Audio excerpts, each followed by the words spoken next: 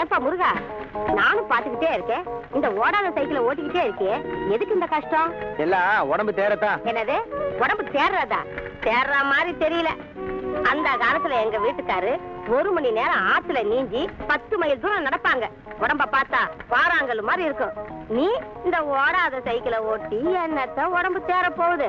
விடிய காலையில உன் புராணத்தை ஆரம்பிச்சிட்டியா? நீ போயா நான் வந்துடுறேன். ஏயா போன மாசத்தை விட இந்த மாசம் சக்கரை ப்ரொடக்ஷன் பத்தாயிரம் டன் குறையுது. கரும்புக்கு அதிக விலை கேட்டு விவசாயிங்க ஒரு வாரமா கரும்பு அனுப்புனீங்க மில்லுக்கு. ரெண்டாவது பவர் கட்டு வேற.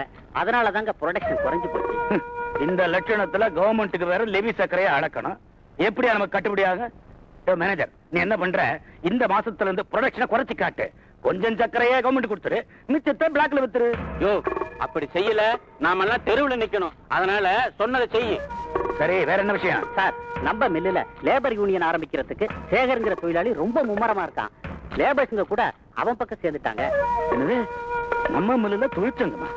ஐய ஒத்துக்காத. இதுக்கு ஏதாவது பண்ணணுமே? ஏன் முதலாளி? அந்த சேகர் பையனை வேலையில இருந்தே டிஸ்மிஸ் பண்ணிட்டா என்ன? கூடாதியா? அப்புறம் தியாகி ஆயிடுவான் தலைவன் ஆயிடுவான் அதை விட அவனை விலைக்கு வாங்கி நம்மாளாக்கி உள்ளேயே வச்சுக்கணும். அதான் புத்தால்தனம் உன் ஒருத்தன் கூட அல்லாடிக்கிட்டு இருந்தா மத்த வேலையெல்லாம் நான் எப்ப பாக்குறது? ஒரு ட்ரெஸ் பண்ண இவ்வளவு நேரமா? சீக்கிரமா வாப்பா. என்னயா என்ன புலம்பல? எல்லாம் உங்க புள்ளதான். பள்ளிக்கூடத்துக்கு நேரமாச்சு நேரத்தோட சாப்பிட மாட்டேங்கிறான். இவன் எப்ப சாப்பிட்டு எப்ப பள்ளிக்கூடத்துக்கு போறது? சரி சாப்பிட்டு ரெடியா இருக்கு சொல்லு. என் கார்லயே கொண்டு போய் டிராப் பண்ணிட்டு போறேன். சரிங்க. சீக்கிரமா வா கண்ணு. அப்பா உனக்காக காத்துட்டு இருக்காங்கல்ல? தேவகி இங்க என்னம்மா பண்ணிட்டு இருக்க? ஸ்கூலுக்கு நேரமாவல? இருங்கம்மா இன்னும் ரெண்டே ரெண்டு ஜாக்கெட் தான் இருக்கு. பட்டன் தைச்சிட்டு வரேன். இந்த வேலையெல்லாம் நீ ஏம்மா செய்யற? நான் பாத்துக்குவேன்ல நீ டிஃபன் சாப்பிட்டு ஸ்கூலுக்கு புறப்படு. வணக்கம்மா. சேகர் இல்லீங்களா? ஆத்தங்கார பக்கம் போயிருக்கா? நீங்க யாரு? நான் சக்கரை மில்லுல ஹெட்லா இருக்கு. அப்படியா? உட்காருங்க வந்துடுவான் ஆ, அவன் வரபடி வரட்டும்மா. இப்ப நான் எதுக்காக இங்க வந்தேன்னா முதலாளி இந்த பணத்தை உங்ககிட்ட கொடுத்துட்டு வர சொன்னாரு. வாங்கி உள்ள வைங்க. எதுக்குங்க இவ்வளவு பணம்? எல்லாம் நல்லதுக்கு தாம்மா உங்க பையன் மில்லுல ஏதோ சங்கம் ஆரம்பிக்க போறானா அப்படி எல்லாம் ஒண்ணும் செய்ய வேண்டாம்னு முதலாளி சொல்லிட்டு வர சொன்னாரு. இந்த பணத்தையும் கொடுத்துட்டு வர சொன்னாரு. வாங்கி உள்ள வைங்க. ஐயோ மில்லு விஷயம் எல்லாம் எனக்கு தெரியாதுங்க. பையன் இப்ப வந்துடுவான் நீங்க அவங்கிட்டயே பேசிக்கங்க. அம்மா வீட்டுக்கு வந்த லட்சுமியை எட்டி உதைக்காதம்மா. கொடுங்க சார். டேய் சேகர். சின்ன விஷயம் நான் பாத்துக்கிறேன் நீங்க போங்க. கொடுங்க சார். ஹ, நீ பிழைக்க தெரிஞ்ச புள்ள. சங்கம் எங்கமெல்லாம் நமக்கு எதுக்கு? முதலாளிய பகச்சுக்காம இருந்தா இது மாதிரி நிறைய சம்பாதிக்கலாம். வேலையிலயும் ப்ரமோஷன் கிடைக்கும். நான் ஹிட்லர் ஆனதே இப்படித்தான். அப்படியா? ஒரு விஷயம் தெரியுமா? சொல். இந்த சங்கம் ஆரம்பிக்கிறதுக்கு பணம் இல்லையேன்னு கவலைப்பட்டுட்டு இருந்தேன். இந்த பணத்தை வச்சு சங்கத்தை ஆரம்பிச்சிடுறேன். உங்க முதலாளிக்கு தேங்க்ஸ் சொல்லுங்க. தம்பி விளையாடுறியா? நான் வயசுல பெரியவன் சொல்றேன் கேட்டுக்க. முதலாளிய இந்த மாதிரி எல்லாம் பகிச்சுக்க கூடாது.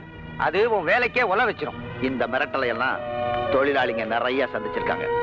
இந்த சலசலப்புக்கெல்லாம் நான் அஞ்ச மாட்டேன். இப்ப சொன்னதையும் முதலாளிட்ட சொல்லு. சொல்லிடு.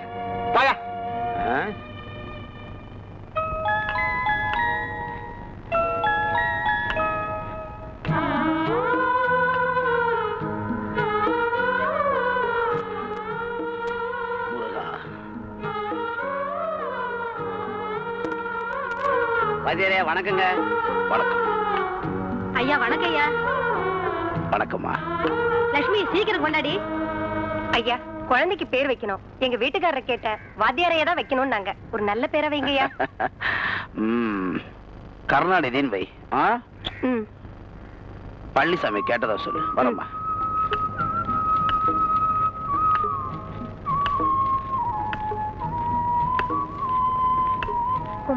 வணக்கம்மா. உங்களுக்காக தான் காத்துட்டு இருக்கேன். முதல்ல நீங்க போனி பண்ணுங்க. அப்பதான் வியாபாரம் நல்லா நடக்கும். எனக்கு என்ன குழந்தையா குட்டியா இதெல்லாம் வாங்கிட்டு போய் நான் என்ன செய்ய போறேன்? ஒரே ஒரு எலுமிச்சப்பழம் எடுத்துக்கிறேன்.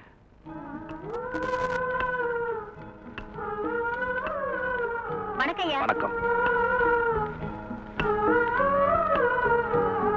வணக்கம் வணக்கம். என் பையன் எப்படி ஆ, நல்லா தான் படிச்சுக்கிட்டு இருக்கான். வரேன்யா. சரி. அடா, வணக்கம்ப்பா. வணக்கம் ஐயா. உட்காரு உட்காரு உட்காரு. நீ எப்படி இருக்க? நான் நல்லா இருக்கேன். உன் தொழில் எப்படி இருக்குன்னு கேட்டு. நீ நல்லா நடக்குதுன்னு சொன்னா நாட்டுல குற்றங்கள் அதிகமாகுதுன்னு அர்த்தம். வணக்கங்க. வணக்கம். ஏன் வணக்கம். கும்பிடுறேங்க. ஐயா வணக்கங்க. வணக்கம் சேகரு. கேள்விப்பட்டேன். மில்லுல ஏதோ புதுசா சங்கம் ஆரம்பிக்க போறேன்னு. இது வரைக்கும் இல்லாம இருந்துச்சுங்க. தொழிலாளிங்க நலனுக்காக இப்ப ஆரம்பிச்சிருக்கோம். அது இருக்கட்டும். உரிமைக்காக போராடுற சங்கமா மட்டும் இருக்கக்கூடாது. உங்க கடமைகளை ஒழுங்கா செய்யணும். அதையும் அந்த சங்கம் பாத்துக்கணும் ஃபர்ஸ்டா நல்லதுங்க. ஹலோ. சார் ஜேஸ்தாஸ் பாடின லேட்டஸ்டா முருகன் கேஸ்ட் ஏதாவது வந்திருக்கா? இருக்க. பக்தி பாடலா பாடுற பக்தி பாடலா கேக்குற. ஏன் சினிமா படம்லாம் பார்க்க மாட்டியா? பக்தி படமா? அதை விட மேல. ரஜினி படமா? ரஜினி படம்னா எனக்கு ரொம்ப பிடிக்கும். அதை விட சூப்பர் பத்து நிமிஷம் பார்த்தா போதும். சொர்க்கலோகத்துக்கே போயிடலாம். பாக்குறியா? இப்போ கோவப்படுவ. பார்த்த உடனே கோபம்லாம் பறந்து போயிடும். ராஸ்கல்.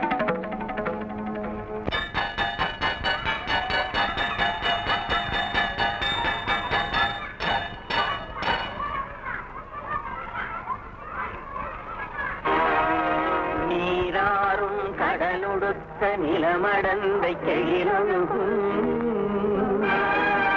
நீராறும் வதனமென திகழ் பரத கண்டமிதி ஏய், தர்றா. எக்கணமும் அதில் சிறந்த ஜாதிடர்கள் ஏய் கதவை தரடா பையன் நிக்கிறான்ல. அப்பா பிரேயருக்கு முன்னாடியே கதவு சாத்திடுவாங்க. பிரேயர் முடிஞ்சதுக்கு அப்புறம் தான் கதவு திறப்பாங்க. யார் போட்ட உத்தரவு? சுந்தரவாத்தியார்.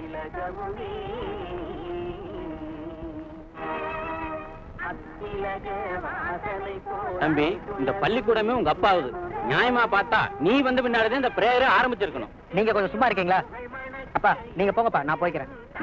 ரூல்ஸ் எல்லாம் மாத்திடுறேன். ரூல்ஸ் எல்லாம் மாத்தின பத்தாதுங்க. முதல்ல இந்த வாத்தியை மாத்தணும். அவன் நம்மளுக்கு பெரிய இடைஞ்சல். கூடிய சீக்கிரம் எல்லாத்தையுமே மாத்திடுறேன். வரேன்டா. சரிப்பா. பொங்கு வல சமயமெனும் இந்த திருவருட்பாவை கால் புள்ளி அரை புள்ளி முற்றுப்புள்ளி ஆச்சரியக்குறி இதெல்லாம் சரியான இடத்துல போட்டு பிழை இல்லாம எழுதுறவங்களுக்கு பத்து மார்க் வழக்கம் போல நான் உங்க விடைத்தாள்களை திருத்த போறதில்ல. நீங்களே உங்க விடைத்தாள்களை திருத்த போறீங்க. அதாவது ஒவ்வொருத்தர் எழுதுற விடைத்தாள்களையும் அடுத்தவங்கிட்ட கொடுத்து திருத்த போறீங்க. இதனால விடைத்தாள்களை திருத்துற பயிற்சி ஏற்படும். எழுதுங்க.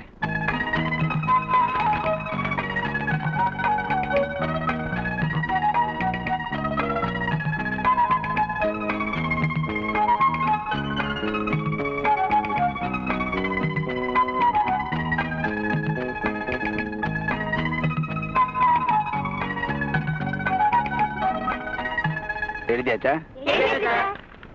பேப்பரை மாத்திக்கிட்டு திருத்தி மார்க் போடுங்க.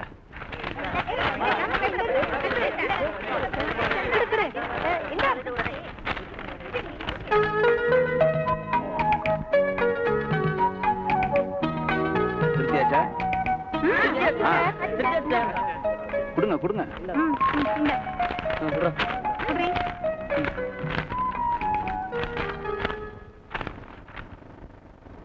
வெங்கடேசன் ஏழு மார்க் கொஞ்சம் முயற்சி பண்ணியிருந்தா கூட மூணு மார்க் வாங்கியிருக்கலாம்ல உக்கார். தேவகி பத்து மார்க் நீ குறைச்சி மார்க் வாங்கியிருந்தா தான் ஆச்சரியம். செல்வி மூணு மார்க் அதேமா தமிழ்ல மட்டும் குறைச்சி மார்க் வாங்குற? தினமும் வீட்டுக்கு ஒரு மணி நேரம் டியூஷன் உக்கார். முருகன் ஒம்போதரை மார்க் சார் ஒன்ன மாதிரி தான்ப்பா நானும். பத்து மார்க் வாங்குறவன் ஒம்போதரை வாங்கியிருக்க? என்னாச்சு? நான் சரியா தான் சார் எழுதுனேன். எனக்கு பத்து மார்க் போட்டிருக்கணும். அப்ப திருத்தணும் அரை மார்க் குறைச்சு போட்டாங்கன்னு சொல்றியா? அப்படிதான் சார் இருக்கணும். சார் முருகன் பேப்பரை நான் தான் சார் திருத்தினேன். அதுல ஒரு தப்பு இருந்தது. அதனால தான் சார் அரை மார்க் குறைச்சு போட்டேன். நான் எழுதுனதுல ஒண்ணும் தப்பு இல்ல. நீ திருத்தினதெல்லாம் தப்பு. நீ வேணும்னே எனக்கு அரை மார்க் குறைச்சு போட்டிருக்க. எதுக்கு அரை மார்க் குறைச்சு போடணும்? உனக்கு சமமா? நான் மார்க் வாங்க கூடாதுன்னு தான். அந்த கெட்ட புத்தியெல்லாம் எனக்கு கிடையாது. ஏன் இப்படி சண்டை போட்டுக்கிறீங்க? ஏமா அவன் எழுதுனதுல என்ன தப்பு? தனிக்கின்ற தருவே பூந்தடமேங்கிற வரியில ரெண்டு ஆச்சரிய குறி போடணும் சார் முருகன் ஒரு ஆச்சரிய குறி தான் போட்டிருக்கான். அவன் எழுதின பேப்பரை பாருங்க. இந்த இடத்துல ஆச்சரிய குறி போடல. ஆமா. சரியா தானே திருத்திருக்கா ஒரு ஆச்சரியக்குரிய காணாம இப்ப கோபப்படாத உக்கார்.